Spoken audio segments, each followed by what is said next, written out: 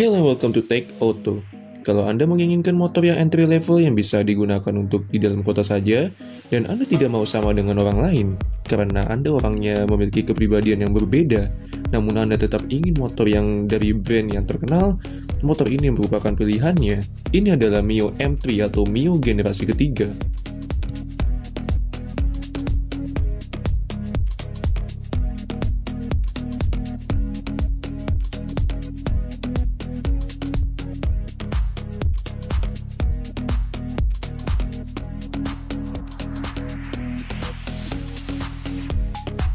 Sebelum kita lanjut, apabila Anda menyukai video ini bisa like, dan jangan lupa subscribe ke channel Tech Auto apabila belum. Mendengar kata M3, pikiran kita langsung bercabang banyak. Ada yang langsung terpikirkan suatu provider jaringan, dan ada juga yang terpikirkan sebuah mobil dari BMW yang sangat legendaris yaitu BMW M3. Jadi nama M3 ini bisa digunakan untuk mengerjai kawan-kawan Anda pada saat berkumpul. Apabila ditanyain, lu ke sini naik apa? Selama Anda bilang, gue naik M3, teman-teman Anda akan langsung tersanjung. Tetapi dengan syarat, teman Anda tidak boleh ikut ke parkiran karena yang Anda bawa ini adalah Mio M3. Sedikit sejarah mengenai Mio. Mio sendiri tercatat sebagai salah satu motor metik Jepang termurah yang pertama muncul di bumi Indonesia di sekitaran tahun 2003, berbarengan dengan Nuvo. Mio generasi pertama ini dikenal dengan Mio Karbu karena masih menggunakan karburator Lalu muncullah facelift di tahun 2008 dengan panggilan Mio Smile karena lampunya membentuk senyum smile. Namun untuk konsumsi bensinnya sayangnya tidak smile. Motor ini cukup merajai pangsa motor metik murah di Indonesia sebelum munculnya Honda Beat generasi pertama. Saat Beat muncul, seakan Yamaha Mio langsung kalah pamor karena Beat datang dengan model yang lebih kompak dan irit dan membuat Beat menjadi motor sejuta umat. Lalu Yamaha meluncurkan berbagai macam jenis Mio, tetapi kami hanya membahas Mio yang original Mio. Lalu model baru muncul di sekitaran tahun 2012 dengan Mio J dan Mio GT. Dibedakan menjadi dua, namun sebenarnya hanya perbedaan pernak-perniknya saja. Dan langsung dijawab oleh Honda dengan diluncurkannya Beat FI. Nah, setelah itu, masuklah generasi motor ini di sekitaran tahun 2015 dan memiliki dua pilihan tipe. Yang ada pada saat launching itu ada Mio M3 dan Mio Z.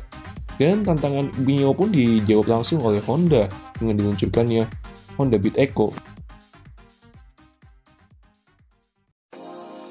Apabila kita melihat desain secara keseluruhan, kita bisa bilang Mio M3 ini memiliki desain yang agak murah dan tidak eye-catching. Bentuknya ini tajam-tajam menusuk seperti halnya didesain sepenuhnya oleh penggaris. Oh iya, ngomong-ngomong model ini merupakan model tahun 2016, namun karena memang tidak ada perubahan yang signifikan, maka kami akan mereview yang ini. Untuk keluaran tahun 2020, perbedaannya memiliki striping baru, mendapatkan Enso back system, dan mendapatkan idling stop system. Di motor ini banyak sekali ornamen M-nya, seolah-olah ingin mengingatkan bahwa Anda naik Mio. Lampu depannya ini aslinya bola halogen biasa macam motor dari zaman batu, namun ada hal yang unik yaitu di bagian alisnya. Jadi alisnya ini menyerupai LED DRL, walaupun ini hanya lampu senja biasa, dan di spakbor depan ini terasa besar sekali macam bemo. Dan walaupun besar, spakbor ini menyempit di bagian tengahnya. Jadi, apabila Anda ingin mengganti ban yang agak tebal, langsung mentop. Deknya ini panjang, namun tidak sepanjang Honda Beat, namun cukuplah untuk membawa dua kardus mie instan dari warung. Untuk sampingnya ini benar-benar tidak ada lakukan yang santai, dan di situ terdapat sayap samping macam winglet yang dilapisi oleh karbon palsu dan belakangnya ini terlihat biasa-biasa saja, namun desain biasanya ini diikuti pula oleh Suzuki untuk Next 2-nya. Untuk kaki-kakinya dibalut dengan ban yang cukup kecil, bahkan untuk di kelasnya.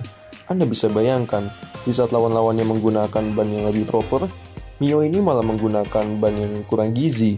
Untuk unit yang ini memang sudah diganti oleh pemiliknya, karena pemiliknya sendiri gemas.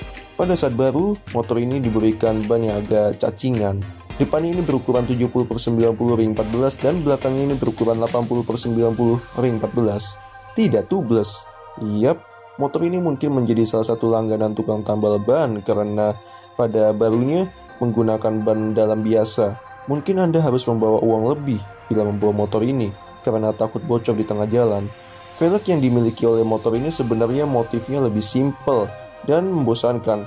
Bentuknya macam Mio generasi pertama, Alasan pemiliknya mengganti velg ini karena rawan spelen. Lalu posisi duduknya untuk orang setinggi saya yaitu di sekitaran 185 cm terlihat agak jomplang dibandingkan dengan motornya. Ya harap maklum karena memang badan kami agak bongsor.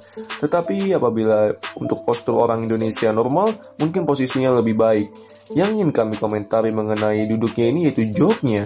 Ini joknya sebenarnya lumayan tetapi terlalu tipis dan membuat pantat kita serasa tepos atau mungkin bila kelamaan duduk di motor ini bisa ambeien. Jok yang Anda lihat ini memang agak tidak standar karena memang sudah ditebali. Tetapi kami sempat mencoba joknya pada saat standar. Oh iya, bagasi motor ini pun sesuai dengan kelasnya yang tidak bisa muat helm.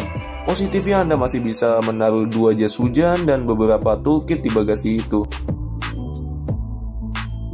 Nah, mari kita beralih ke mesinnya. Dibekali dengan mesin 125cc SOHC 4 tak berpendingin udara single silinder dengan tenaga di sekitar 9,3 horsepower di RPM 8000 dan torsi maksimum sebesar 9,6 Nm pada RPM 5000. 0 ke 100 nya tergantung bagi pagi Anda makan apa. Bila keberatan beban, motor ini seperti anggot-anggotan menyentuh angka 100 km per jam. Lalu motor ini ditemani dengan tangki sebesar 4,2 liter saja dan memiliki jarak tempuh sekali isi full bisa di sekitaran 120 kiloan.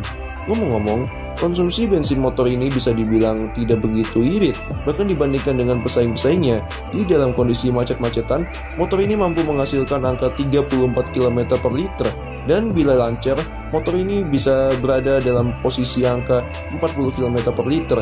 Bagaimana kerasa berkendaranya? Nanti kita coba.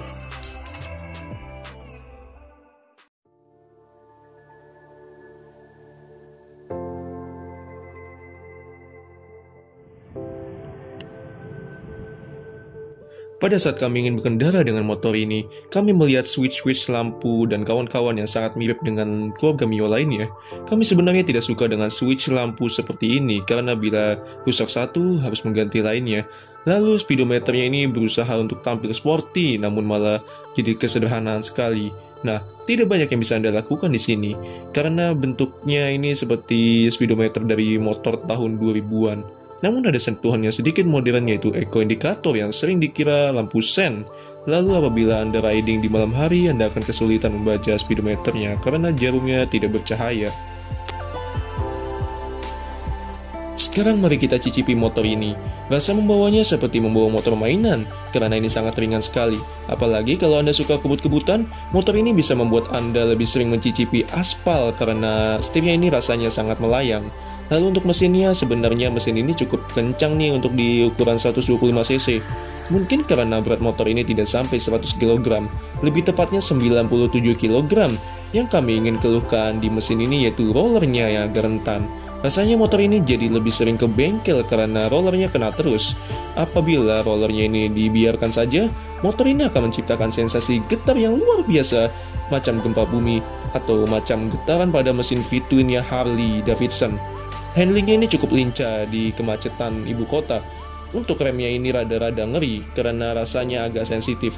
Sayangnya sensitif ini bukan hal positif karena remnya ini terlalu peka.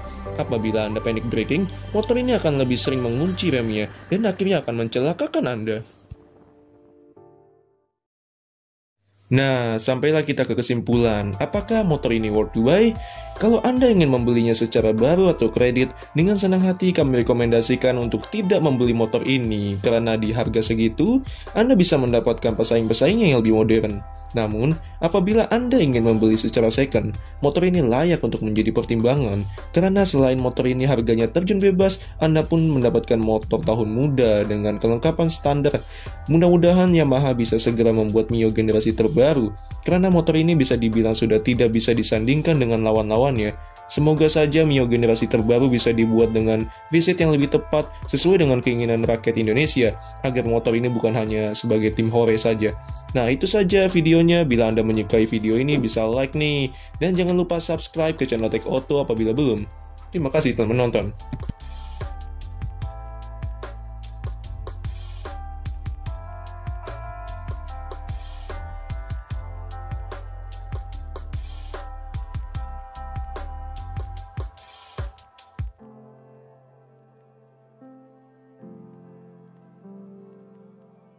one day you'll figure this out.